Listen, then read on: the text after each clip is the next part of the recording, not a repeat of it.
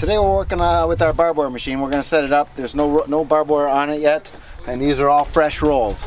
So what we got to do is make sure they're laying down properly so that uh, it untwists in a certain way so that it goes on the machine, and we'll show you that as I put it on.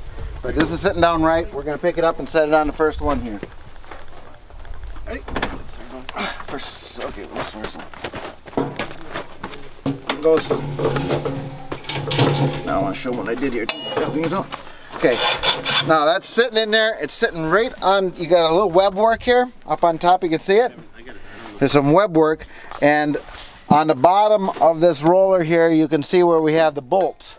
Those bolts are going to hold that web work, and it works with each other with the brake that's underneath on the bottom. So that's why we have to have web work with our cores for the barbed wire. If there's no cores that has web work, it's just going to freely spin there. Okay. So now we're going to put the cap on. Just stick her on, wheel her down, spin it on.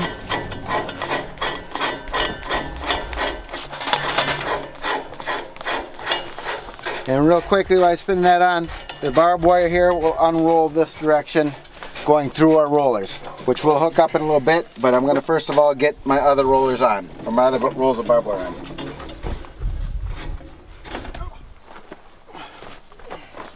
One.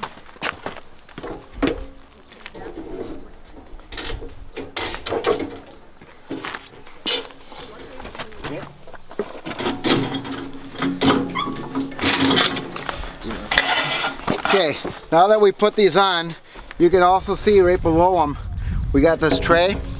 This tray is actually designed so you can put three more rolls on if you got a longer job and you have it with you. You don't have to lay them out on a job site. You can take enough to do a total of 2,000 foot with you.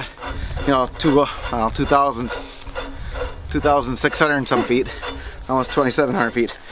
Um, but you got room to put, you know, some more rolls down here so you can do that. We're gonna finish putting this together and then we'll start running the wire out. Loading it, weaving it through. Now, we're probably gonna wanna do the top one first. Okay. Alright, we're gonna run this wire through the machine here, weave it through. We're gonna start with the inside rollers and work our way to the outside. So this is our first one, we're gonna pull it through. Just have the guy help you turn it so because the brakes are on. Tight. It's tight. And you just feed it through the first roll you got to set up this way. And then you can pull it right up. Pull okay. Okay hold it. Go behind that one. And then this one here is going to go over the top and I need a little bit more wire.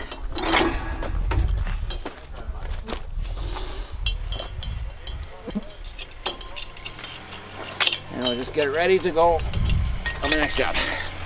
And we're just going to tighten up the barbed wire to keep it out of the way. Keep it nice and straight. Then we'll start the next one. Loose.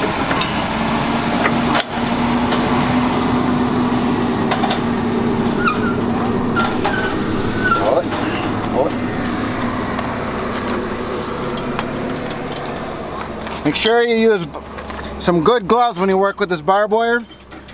It's pretty pointy and it can cut yourself pretty good. So you want to make sure you're wearing some good leather gloves.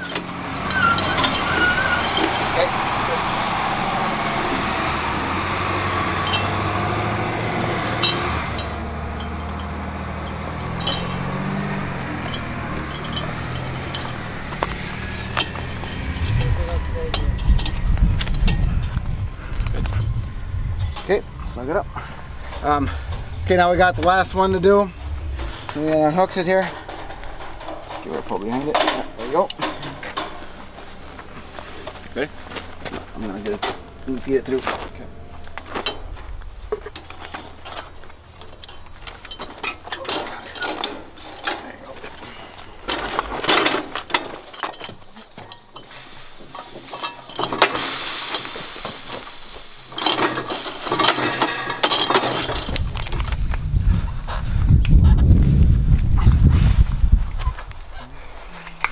twist this thing three times.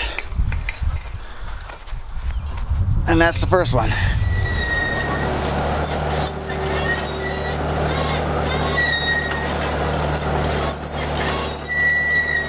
As you can tell, it's pretty quick.